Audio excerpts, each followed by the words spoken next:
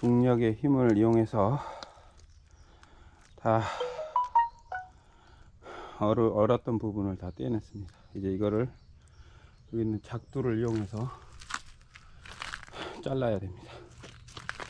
이거를 뭔가 이거 자르는 거를 발명을 해도 상당히 요긴하게 활용을 할 수 있을 것 같네요. 이게 여기만의 문제가 아니기 때문에 생선 미끼 자르기 또는 삼치 토막내서 조림하기 뭐 등등 상당한 프레스를 이용해서 싹둑싹둑 자동으로 잘려지는 게 있으면 아주 좋겠네요. 연구할 만한 대상입니다.